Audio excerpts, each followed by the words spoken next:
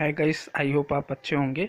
तो इस वीडियो में आपको बताऊँगा कि जो आप देखते हैं वीडियोस में वाटर मार्क लगा रहता है और उस वाटर मार्क को आप कैसे हटा सकते हो आसानी से तो यही ट्रिक मैं आपको वीडियो में आज बताने वाला हूँ।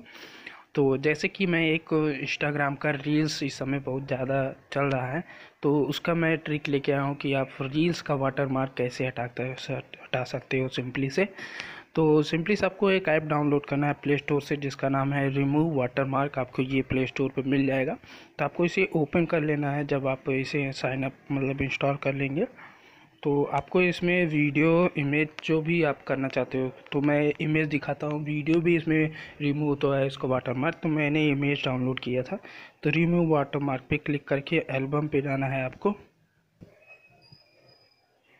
तो कुछ ऐसा है इसका? मतलब ऐसा है तो आपको ये जो दिख रहा है, आपको इसको ऐसे छोटा कर लेना है, जितना आपका मतलब वाटर मार्क हो और आपको जहाँ वाटर मार्क हो, उस पर क्या कर देना है? यहाँ पे ऐसे लगा देना है, ठीक है?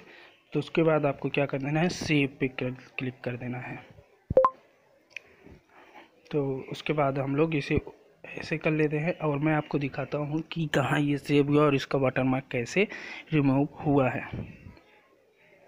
तो यहाँ आप देख सकते हो इसका जो वाटर मार्क है, वो एकदम सिंपली से मतलब अच्छे से रिमूव हो गया आपको कहीं दिख नहीं रहा होगा रील्स का। तो ये कुछ अच्छा खासा ट्रिक है इसे आप आजमा सकते हो।